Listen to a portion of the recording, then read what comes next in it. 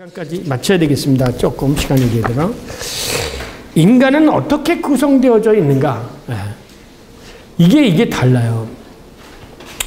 서구에서는 인간을 영과 육과 영혼으로 이분으로 해서 생각하죠.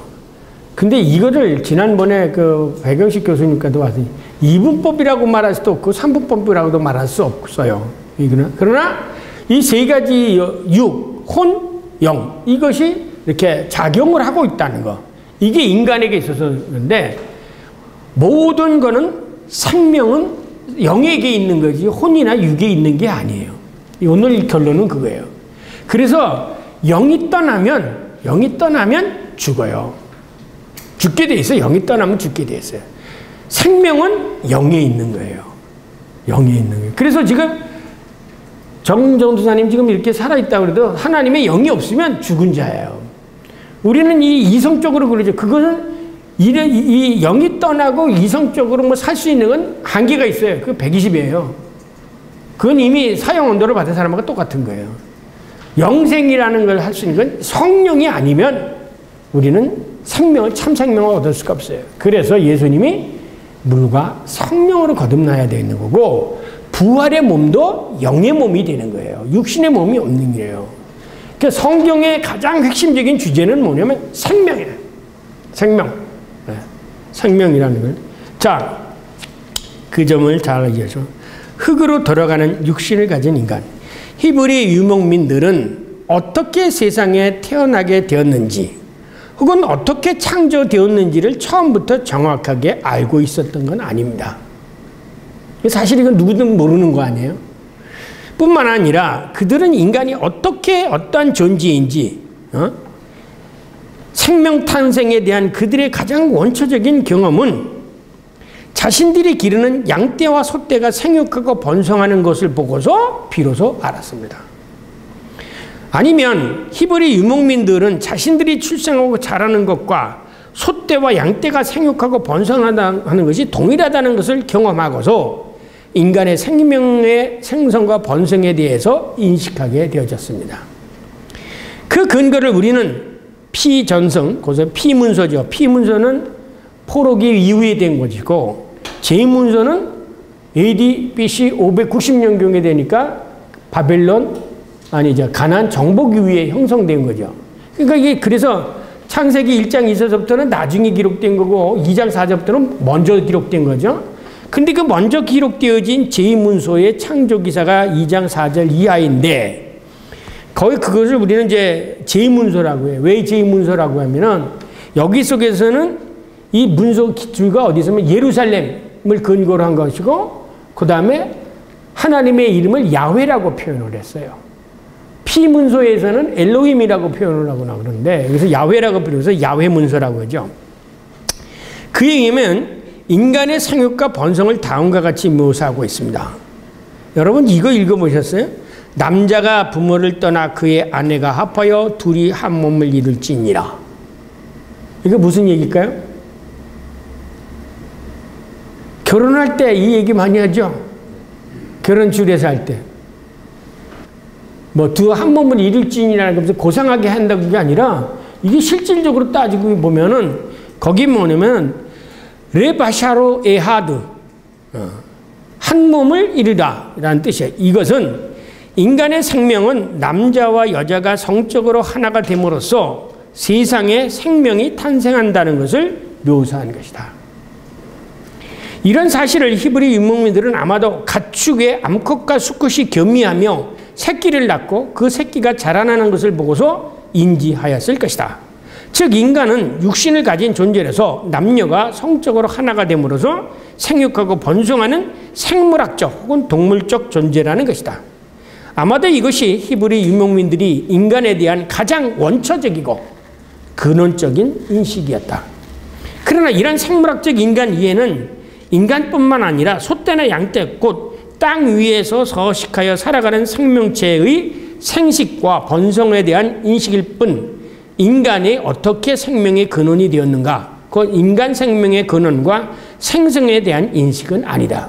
그건 모르는 거죠. 아, 인간은 어떻게 생성, 자라나고 이거 번식하느냐. 그 번식하는 건 알아, 알았죠.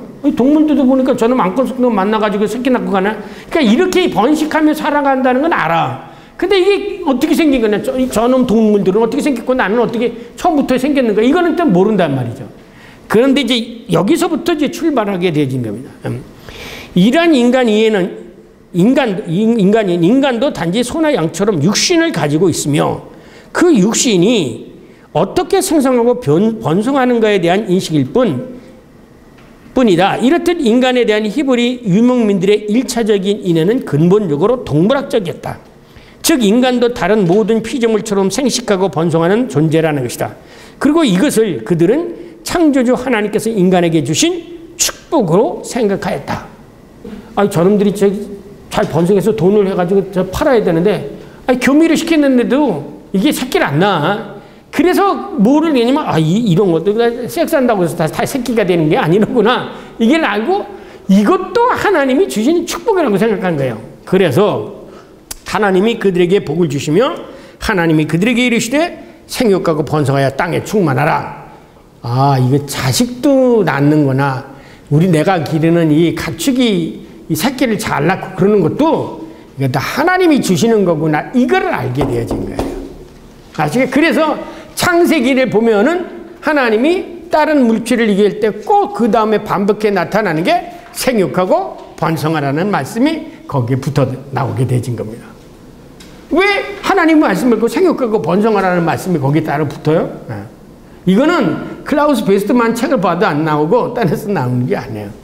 이거는 히브리 유목민들이 자기의 삶 속에서 나온 신앙 고백이에요. 고백이에요. 네.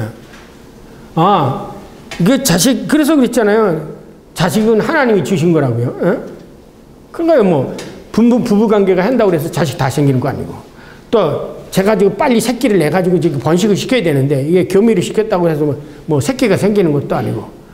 거기서 인간이, 인간은 이 육신을 가지고 번성해 가는 존재인데, 이것도 하나님이 주시는 것이다. 그래서 창세기에 이 생육하고 번성하라는 말이 두 군데 나와요. 어느 때 동물을 땅에 사는 동물에 대한 거하고 인간을 창조하신 다음에 생육하고 번성하라는 축복이 두 군데 나오는데 이 땅에 사는 땅에 기임하는 동물들 이들에 대한 창조하신 다음에 생육하고 번성하라 그러고 그 다음에 인간을 땅에 생육하고 번성하고 땅을 다스리라 이렇게 나오게 되죠. 참 옛날 그 옛날 사람들이 그렇게 이걸 알았을까? 아니죠. 이거를 인간이 의지적으로 조직적으로 여기다가 끼워 맞춰서 쓰려고 해도 어려운 거예요. 그렇게 맞춰 쓰려고 하더라도. 그런데 이들은 그냥 그들의 삶 속에서 나온 걸 그대로 쓰는데 하나님의 역사가 되니까 자연스럽게 이게 하나님의 역사 안에서 통일이 형성이 이루게 되어진 거죠. 1페이지. 그래서 따라서 그들은 남녀가 서로 사랑하여 성적 관계를 맺는 것을 부끄럽게 생각하지 않았습니다. 이건 하나님이 주신 축복이고 자연스러운 것이다. 그래서 창세기 2장 25절에 아담과 그의 아내 두 사람이 벌거벗었으나 부끄러워하지 아니하니라. 왜 생뚱맞게 벼락아래 창조기사에 이것이 들어가? 그렇잖아요?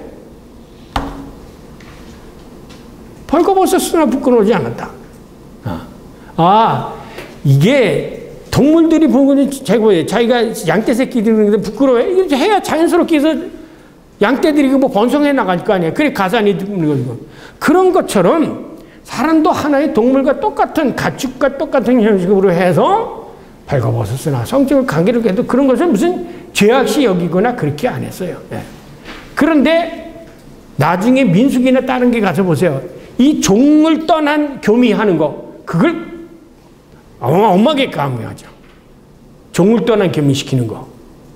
네. 그게 뭐냐? 이게 순리를 안 한다는 거죠. 쉽게 얘기하면 내 아내와 딸에게 이렇게 하는 거. 아, 간음을 한다거나 이런 거는 절대 허락을 하는 거예요. 그러니까 이런 것들이 다 이 율법서가 율법뿐만 아니라 레위기나 이런 모든 것들이 다 이들의 삶의 경험에서 형성되어 축적되어서 경험되어진 것을 어, 신앙적으로 고백한 거죠. 음. 그런데 육신이 가, 육신을 가진 인간뿐만 아니라 각축인 소와 양도 숨을 끊겨 주고 땅에 묻히면 그 육신이 흙이 되는 것을 경험하면서 그 육신은 바로 흙으로부터 생긴 것이로구나 라고 생각하게 되죠. 그래서 창세기 앞에 피문서에는 하나님께서 하나님의 형상을 따라 사람을 창조했다 그랬죠. 1장 26절. 근데 창세기 2장 7절에는 하나님이 흙으로 사람에게 생기를 좀 만들었다 그랬어요. 자, 보세요. 이스라엘 사람 유목민에게는 형상이라는 개념이 없어요. 형상이 뭔지 이거 아니에요. 흉각 아니에요.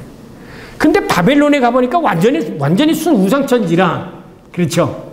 그래서 바벨론 포로 이후에 나타나는 창세기에는 형상이라는 개념이 나와요. 셀렘이라는 개념이 나와요. 그런데 똑같은 창조 기사를 기술하는 이전에 그러니까 제2문서에서는 950년경에 기록된 BC 950년경은 거기는 형상 개념이 안 나와요. 아시겠어요? 근데 이게 우리는 하나만 보는 거죠. 그냥? 아, 인간은 하나님의 형상으로 창조 그거는 이스라엘 사람들이 바벨론에 가서 노예 사냥다 보니까 바벨론에 모 수많은 우상들 만들어 놓고 그런 것을 가서 형상을 만들어 놓으니까 하나님의 형상을 따서 우리를 만들었다 그렇게 표현을 하는 거고 그 이전에 그것을 경험하지 못해 유등 더 고대로 올라간 유목민 정통 속에서는 아 사람이 죽으니까 흙으로 가니까 흙에서 사람이 생겼다 그래서 하나님이 흙으로 사람을 빚었다 이렇게 쓴 거란 말이죠.